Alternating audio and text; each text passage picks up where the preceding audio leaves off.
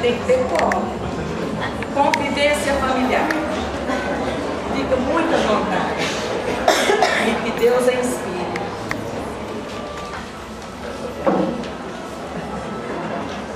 Esqueci, você É falta, é falta. Boa noite, meus irmãos. Que a paz do Divino Mestre Jesus se faça em nossos corações. E nessa semana tão importante da família, nós vamos todos reunidos nesse instante, vamos elevar os nossos pensamentos a Deus, nosso Pai, e rogar-nos pelo lar de cada um de nós. Que o nosso lar possa ser abençoado com esta luz do conhecimento, mas acima de tudo, com a nossa vontade em vivenciar o Evangelho de Jesus. E o nosso tema é um tema muito importante. Não, O nosso tema é um tema muito importante, porque nós vamos falar da convivência familiar, ou seja, nós vamos falar justamente dessa nossa divisão, do compartilhamento que nós fazemos desta existência com os nossos familiares, com os nossos parentes. Muitas vezes as pessoas gostam de falar a família consanguínea, mas nós sabemos que a nossa família terrestre ela é muito mais ampla. Nós temos filhos do coração, nós temos os irmãos que vieram às vezes de outras famílias, de outros lares. Então nós vamos abordar essa convivência familiar. E é muito importante nós entendermos a visão da família pela doutrina espírita. O Espiritismo nos diz que a família é um agrupamento que nós nos reunimos e nós temos diferentes estados evolutivos. E aí vem a nossa primeira reflexão da noite. Nós escolhemos os nossos amigos, nós escolhemos os nossos companheiros, nós escolhemos aqueles que nós temos afinidades.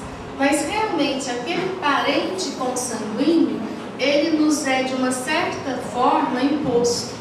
Nós não podemos escolher. Por quê?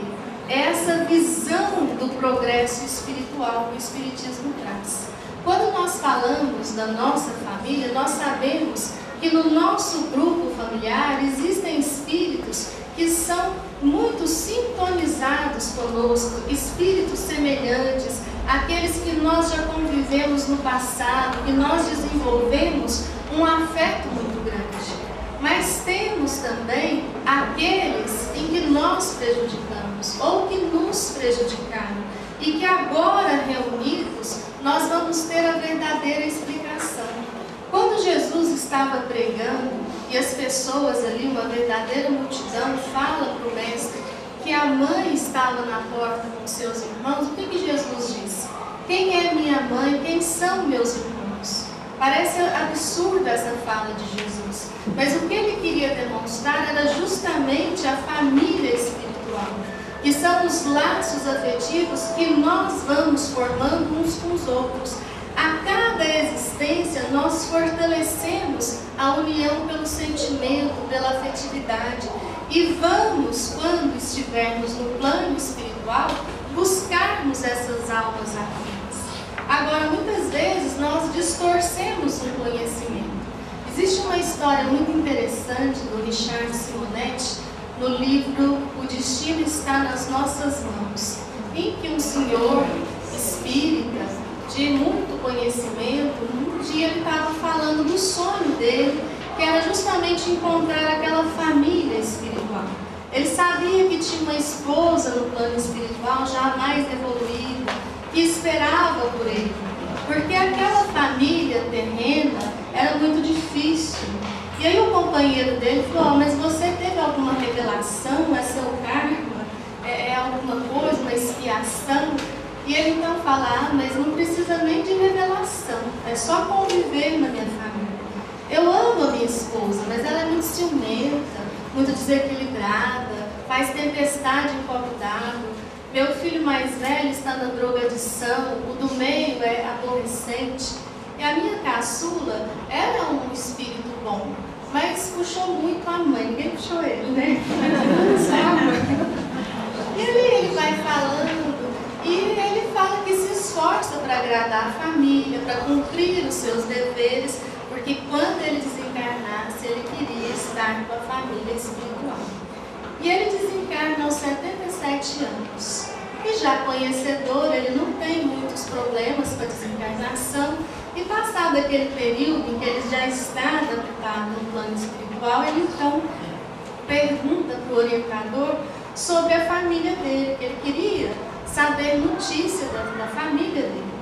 E aí o orientador fala, ah, estão todos bem na vida terrestre. Ele fala, mas eles estão encarnados? Aí o orientador te entendendo. Você veio antes, mas a sua família ficou. Não, mas eu não estou falando daquela família. Ele descreve aquela família perfeita, maravilhosa. E aí o orientador fala, olha meu irmão, aquela família terrena é a sua família espiritual. Vocês estão juntos há muito e muito tempo. Você está para auxiliá-los da mesma forma que eles estão para te auxiliar. Essa história ela é muito interessante para tirar muitas vezes essa fantasia que nós fazemos. Às vezes a gente quer que alguém no plano espiritual, já bem evoluído, uma família mais perfeita, esteja esperando por nós. Que nós estejamos aqui como retardatários mas na realidade, o que Jesus quer nos ensinar é a importância da família terrena. A Teresinha de Oliveira, no livro Iniciação ao Espiritismo, ela dá um quadro que fica muito fácil de nós entendermos, de nós ampliarmos o conhecimento de quem são verdadeiramente esses nossos irmãos de convivência, os nossos familiares. Ela fala que se aquele familiar nós nos damos muito bem com eles, é porque o motivo da ligação é a afinidade. Agora, dar muito bem com o outro não quer dizer que nós sejamos o quê? Evoluídos. Porque a gente tanto tem afinidade no bem, quanto a gente tem afinidade no mal. Mas esses que nós comungamos os gostos, que nós temos uma convivência mais livre, que nós gostamos de estar com eles, são aqueles que nos são afins.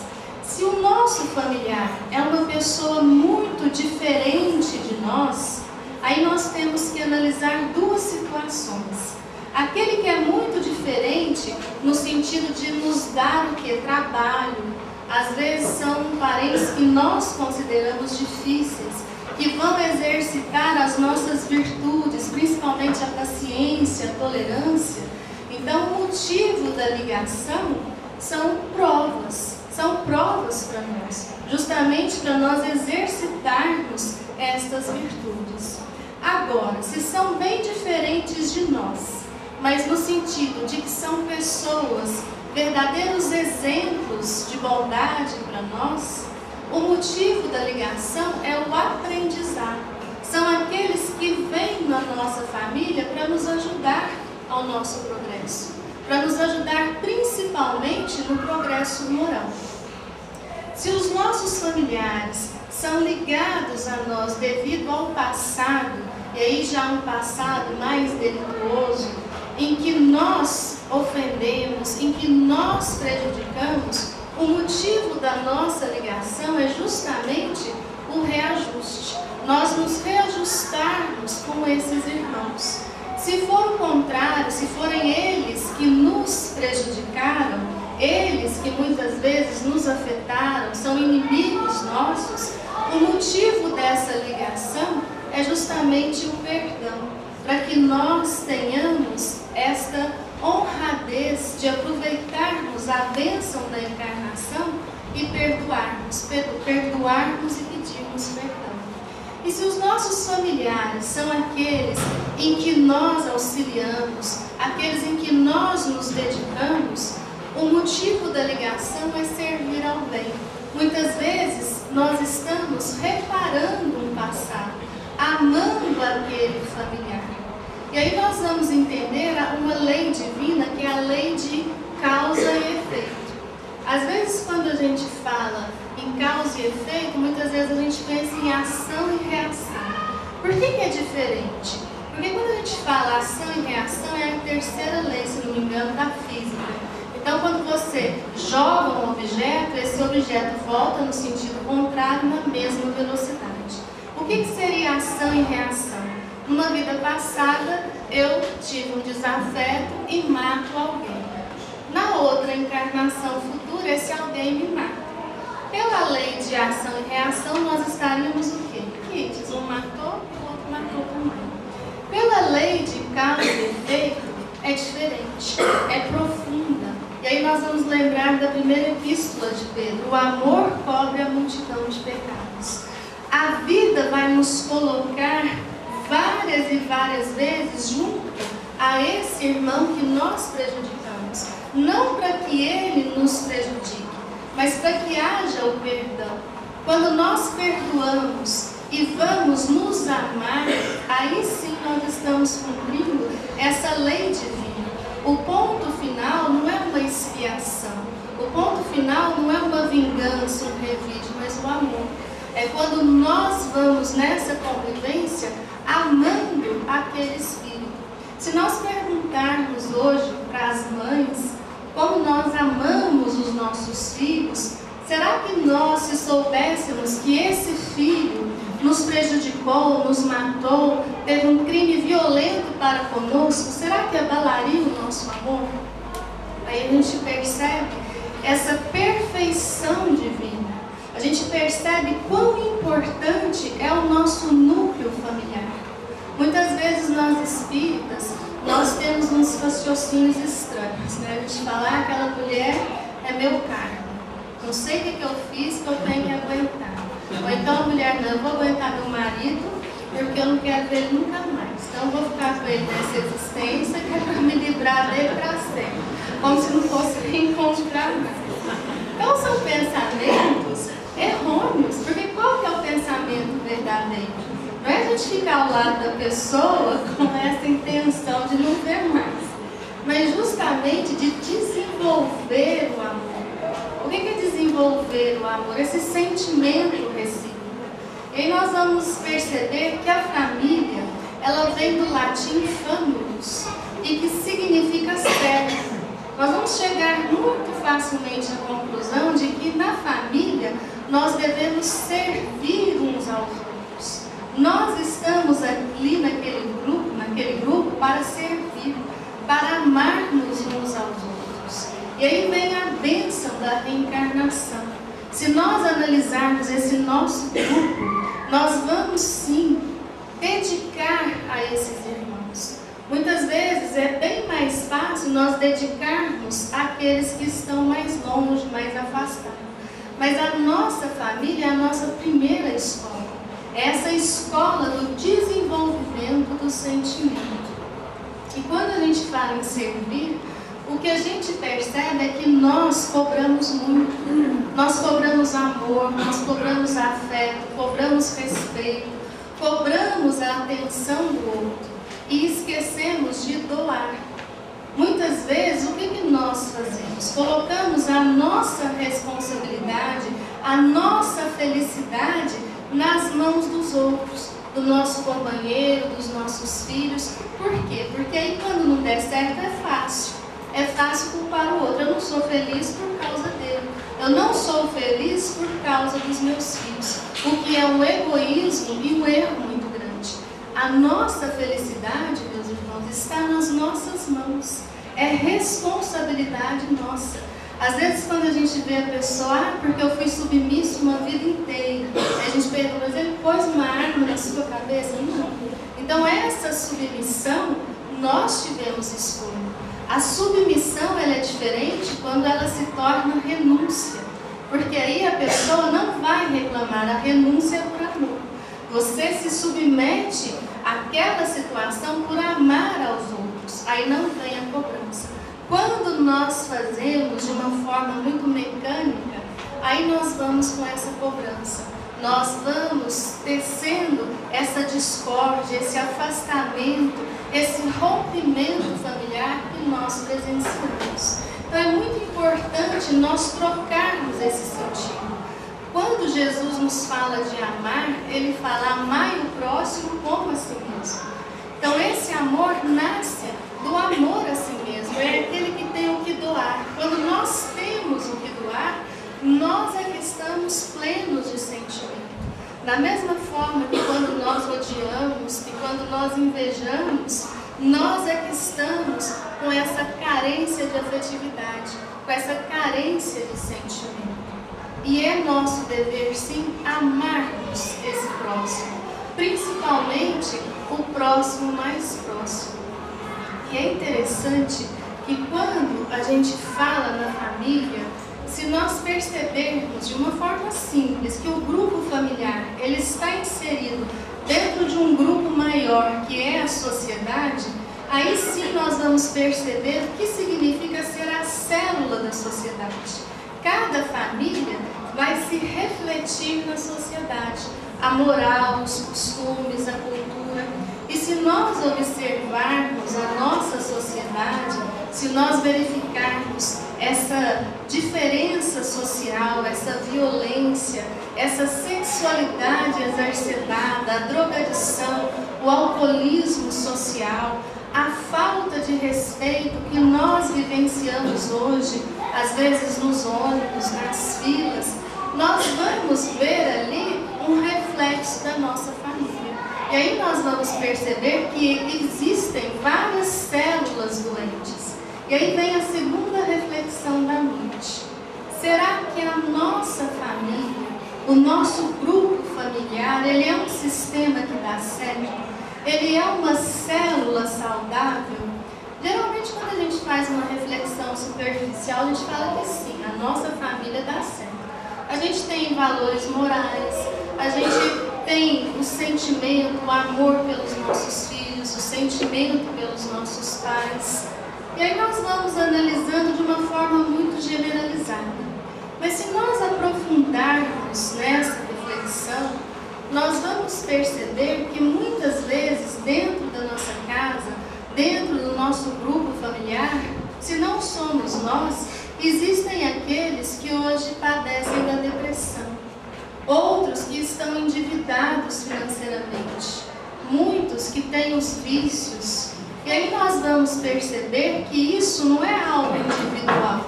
Muitas vezes nós tratamos com esse individualismo, nós lavamos as nossas mãos. E aí nós tratamos aquele que nos pede ajuda como a ovelha negra da família. E isso é um erro muito grande, principalmente do cristão. Nós que somos espíritas, nós sabemos o nosso dever. Nós sabemos que devemos auxiliar este próximo. E na Revista Espírita de 1865, Kardec traz uma mensagem, um estudo muito interessante, onde ele vai colocar para nós que quando nós falamos da caridade, da verdadeira caridade, nós temos que pensar que os nossos primeiros pobres são os nossos filhos, os nossos pais, no capítulo do Evangelho segundo o Espiritismo, honrai vossos pais, é muito interessante que ali nós temos esse dever de filhos, de não abandonarmos aqueles que nos criaram, que abriram a porta desta existência para nós, e mesmo que tenham as suas dificuldades, os seus erros, é nosso dever de filho acolher sim os nossos pais. E é nosso dever de pais educar esses nossos filhos, porque essa é a nossa grande missão. Vai nos ser perguntado a cada um que fizestes dos filhos que vos foi confiado. O que, que nós estamos fazendo com a educação dos nossos filhos? Será que nós estamos sendo exemplos para que eles se tornem homens e mulheres de bem? E ali nessa parte da revista espírita, ele vai falar para nós que primeiro nosso lar. Depois, os nossos amigos mais próximos, os amigos do coração, aqueles que nós vamos convivendo e também os irmãos mais distantes. Mas o que, que acontece quando a gente faz essa reflexão? A gente chega à conclusão de que quando nós visitamos os enfermos através de uma casa espírita, nós chegamos naquele ambiente, fazemos a oração, levamos o Evangelho de Jesus e nós temos palavras doces de paciência, de tolerância, porque nós ficamos ali durante um tempo. Mas quando nós convivemos com o enfermo dentro da nossa casa, muitas vezes nós já não dou conta, não estou conseguindo. já vem essa impaciência nossa. Porque ali é uma caridade constante, por isso mesmo ela é verdadeira. Nós temos que aprender com o Espiritismo que o nosso lar é um local de doação, de serviço, é um local em que nós devemos zelar pelos nossos familiares. Nós devemos sim auxiliar. E a melhor forma de nós auxiliarmos é a nossa transformação moral. Porque é muito fácil. É muito fácil a gente dar lição de moral. Você vai fazer assim, assim, assim. Pessoa olha para nós, ela fala, não faz nada disso. Então a gente fala, não faz, não adianta nada. Porque o exemplo, a gente, ainda mais essas crianças hoje que reencarnam com toda essa atividade intelectual, elas percebem muito claramente as nossas atitudes como pais. E o grande problema nosso da sociedade hoje, não só na violência, mas todas as deficiências sociais, nós vamos ver que nascem das dificuldades dentro da nossa casa, dentro dos nossos lares. Essa dificuldade em convivermos com os nossos afetos e os nossos desafetos. Quando nós temos essa visão de que aquele desafeto é uma bênção para nós, que nós estamos a caminho com aquele que devemos amar, que muitas vezes tem que nos perdoar, aí nós nos transformamos.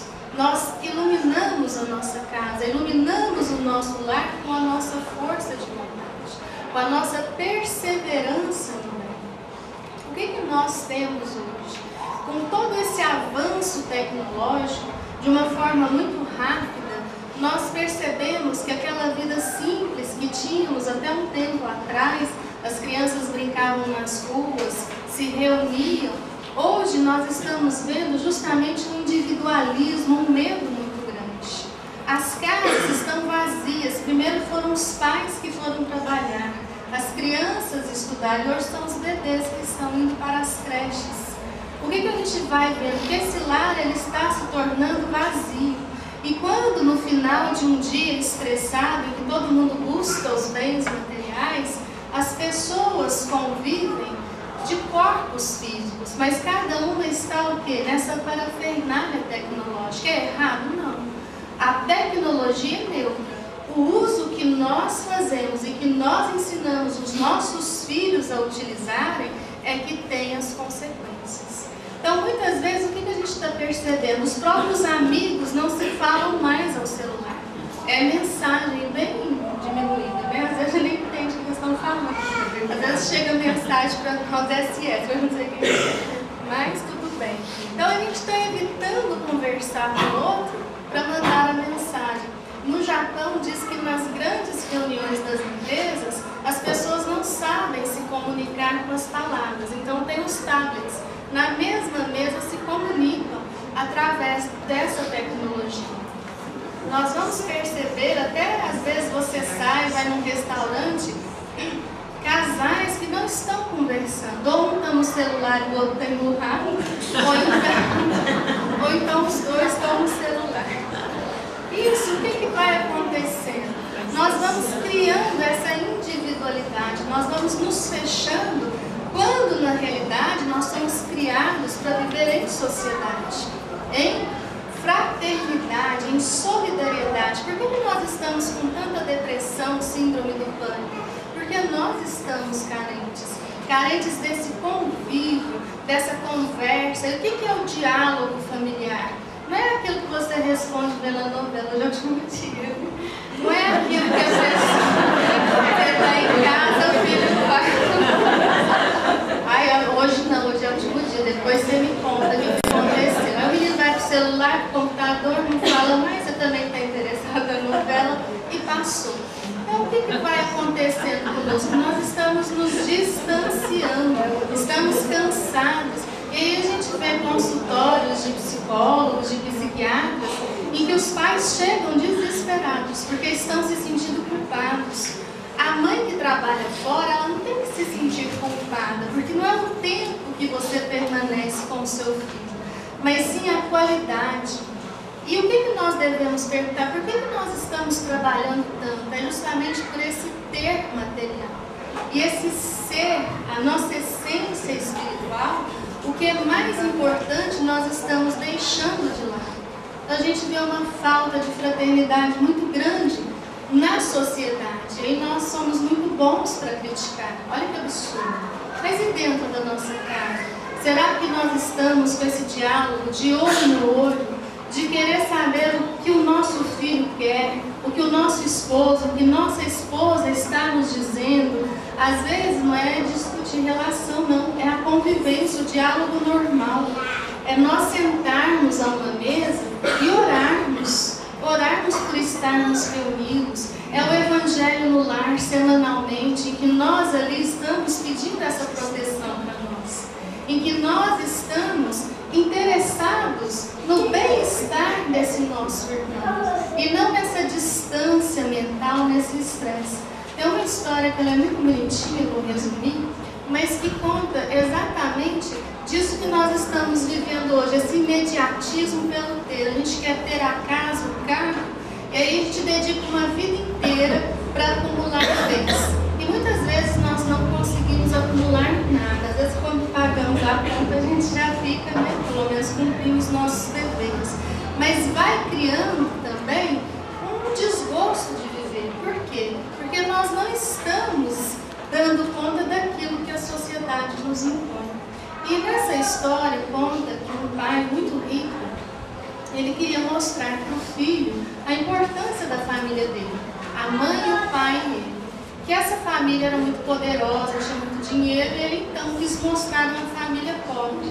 E aí ele lembrou de um primo do interior que morava na roça, e ele né, liga lá para o primo, combina e eles vão. Ali naquela viagem, aquela criança vê um lar simples, é recebido com bolo, Ali ele tem um, um rio no quintal onde ele vai brincar com os primos, nadar. Animais, tinham vários cachorros, vários bois. E ele então à noite, cansado de tanto se divertir naquele lar pobre, ele então verifica que a tia contava história para os filhos. E ele então achou maravilhoso aquela contação de história, a oração antes de dormir. E quando eles foram embora, o pai falou para eles, você viu? Eles não têm computador. Ele é. Eles não têm isso, não têm aquilo. O que, que você achou da viagem? Falei, pai, nós somos muito pobres, né? Pai até pulou. Compra, filho, nós somos pobres.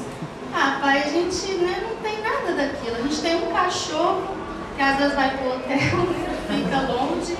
Nós temos uma casa que tem uma piscina que vai até o portão. Mas lá no tio tem um rio sem fim. Lá tem muitos animais. O que, que ele queria dizer para o pai? Da riqueza da convivência familiar. Então é isso que nós devemos guardar. Que nós não precisamos, às vezes, matar a convivência e comprar os nossos filhos. Todos têm o celular, todos têm o tablet e por aí vai. E aí nós queremos também que eles tenham. Nós vamos deixando que o mundo coloque dentro das nossas casas essa regra de proceder. E Jesus foi muito claro. Ele disse para nós tomarmos cuidado, porque o mundo é impotente para nos dar esse conhecimento, é impotente para nos trazer essa felicidade. Às vezes, um dos nossos maiores erros é justamente comprar os nossos filhos, porque nós estamos mostrando para ele que o que realmente tem valor é o material. E às vezes é uma discordância muito grande para nós espíritas, que sabemos que o que tem valor é o ser, é a nossa essência espiritual e imortal. Que nós estamos aqui de passagem, mais uma passagem de aprendizado.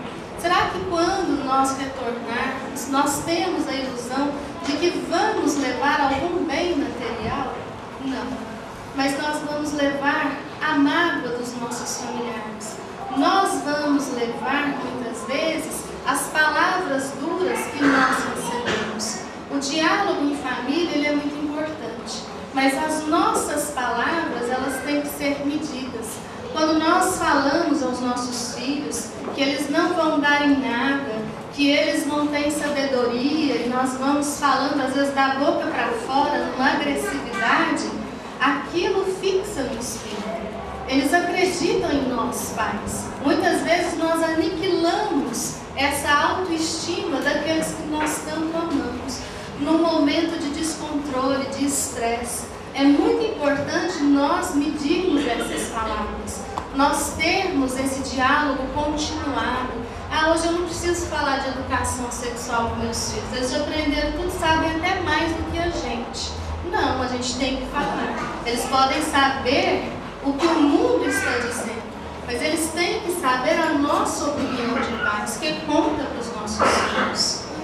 Na década de 80, se não me engano, no Texas, uma equipe policial, juntamente com psicólogos, eles fizeram um texto muito interessante que é muito divulgado no mundo todo. Como criar um delinquente. E ali vem várias situações. E é importante esse texto para nós entendermos o perigo que nós corremos quando nós praticamos. Eles nos dizem para nós darmos tudo para os nossos filhos, desde que eles são bem pequenininhos. Que a gente dê tudo e mais alguma coisa, porque assim ele vai crescer achando que a vida tem obrigação de dar tudo para ele. Quando ele falar no palavrão, que a gente ria, né? Tão bonitinho que essa palavra palavrão, então que a gente ache graça. Agora, quando passar alguns anos e esse palavrão for para nós, nós vamos sentir a dor no coração. Nos dizem também para que a gente apanhe tudo que eles jogarem, catemos tudo, não deixemos eles pegarem nada. Porque aí sempre a responsabilidade vai ser dos outros que nós também não podemos falar não para os nossos filhos, porque isso pode magoá-los. A gente tem que falar não. Agora, mais do que dizer o não, a gente tem que explicar por quê. Não é simplesmente não, não pode, pronto, não. Não, isso não está correto. Você não pode assim, por isso, isso, isso. E aí vão discorrendo várias outras situações para a gente ficar sempre do lado do filho contra os professores, contra os vizinhos, contra os policiais, porque todos têm inveja do nosso filho. Ele é o mais bonito, ele é o mais genial, então que a gente fique sempre tomando partido deles. E que quando eles forem presos ou acontecer alguma coisa, que a gente dê aquela desculpa, nunca dei conta desse menino, nunca dei conta, aí a gente já coloca para ele. Então isso tudo vem mostrar como é grande a responsabilidade, como é profunda essa educação. E não adianta a gente falar, olha menino, não mente, não podemos mentir. Aí a gente fala assim, ó, oh, no telefone não, fala que eu não estou. É uma mentira, a criança ela percebe. A gente fala, ah, mas é uma mentirinha, não, mas é mentira. E aí a gente tem que cuidar o quê? dos valores morais. Eles estão de olho em nós. Aquilo que nós fazemos com o nosso próximo, a maneira que nós nos tratamos, às vezes xingar, né, marido e mulher, essas brigas homéricas, esses xingamentos, a criança depois, quando tem essas separações, ela já está o quê? Às vezes naquele piloto automático. Não é que ela não tem sentimento, mas por um sentido de proteção, acontece o que está acontecendo. Nós vamos nos enclausurando nas nossas dificuldades, nas nossas dores. E para nós finalizarmos, nós gostaríamos de deixar uma terceira reflexão. Conta-se que uma dada data, uma senhora saiu de casa e ela percebeu três senhores na porta de casa.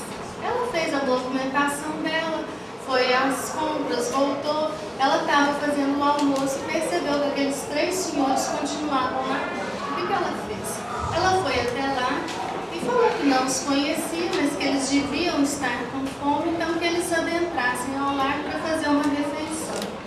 E um deles perguntou, o seu marido está em casa? Ela falou, não, ele está trabalhando, então nós não vamos entrar. Quando foi à noite, o marido chegou e ela contou para ele o acontecido e ele então falou, é, são pessoas de bem. Então você vai lá agora, porque eles ainda estavam lá na porta. Você vai lá e chama para que eles entrem e façam uma refeição conosco. Diga que eu cheguei. E assim ela procedeu. E aí um deles pegou e falou, olha, eu vou apresentar quem nós somos. Aquele ali é fartura, aquele sucesso e eu sou o amor. Nós não podemos entrar todos os três juntos. Então você vai e discuta com o seu marido quem você quer na sua casa. Aí quando ela falou, ficou toda alegre, né? Já escolheu a fartura. Trabalho tanto para ter fartura, então que venha logo a fartura. Mas ela não concordou, ela queria ter sucesso, uma família mesmo sucesso. E a filha que estava escutando falou, olha, eu discordo. Eu acho que quem tem que entrar no nosso lar é o amor. Porque aí tudo que, que tiver que acontecer lá fora, aqui dentro nós vamos ter o amor. E o pai concordou, a mãe também. E ela então foi lá fora e chamou o amor. Só que quando o amor entrou na casa dela, fartura e sucesso também entraram. E ela então perguntou, ah, mas não era só um? E aí o amor explicou, se você escolhesse qualquer um dos outros, você teria só um. Mas quando se escolhe o amor, a fartura e o sucesso vêm juntos. Às vezes, meus irmãos, os nossos lares podem não ter a riqueza material, mas se tem amor, tem o verdadeiro sucesso. Nós estamos seguindo os ensinamentos de Jesus e que Ele esteja em nossos lares a cada dia nos abençoando.